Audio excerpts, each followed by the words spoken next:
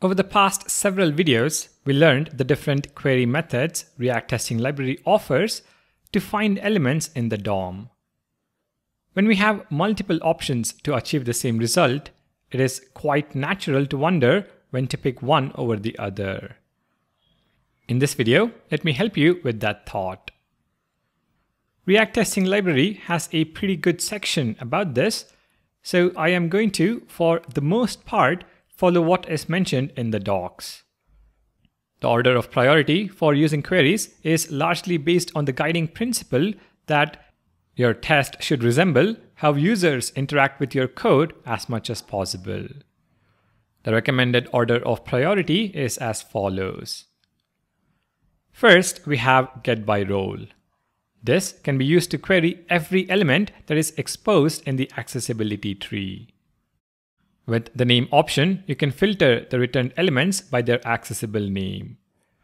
Get by role should be your top preference for just about everything. Make sure to go through the list of elements and their roles to help you understand what role to use for a particular element. If for some reason get by role does not help you, your next choice should be get by label text. This method is really good for form fields. When navigating through a website form, users find elements using label text. This method emulates that behavior so it should be your top preference. If you still cannot find an element, your next choice is get by placeholder text. Keep in mind, a placeholder is not a substitute for a label. But if that is all you have, then go with get by placeholder text. Next, we have get by text. Outside of forms, text content is the main way users find elements. This method can be used to find non-interactive elements like divs, spans, and paragraphs. Next, we have get by display value. The current value of a form element can be useful when navigating a page with filled in values, and get by display value is the query that can help you.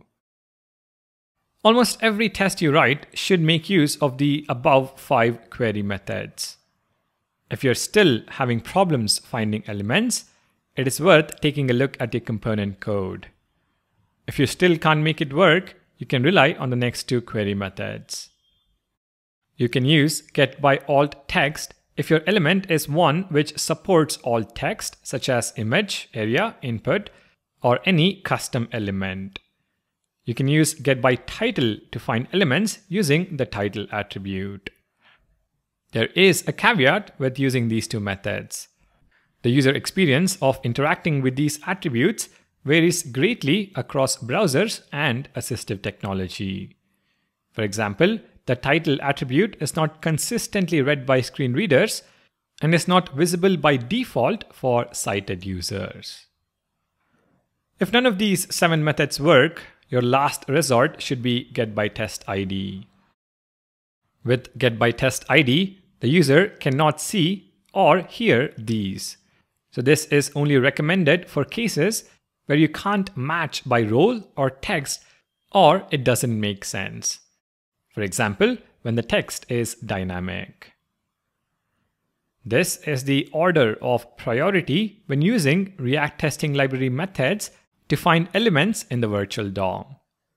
Please make sure this is imprinted in your mind as it is really, really important.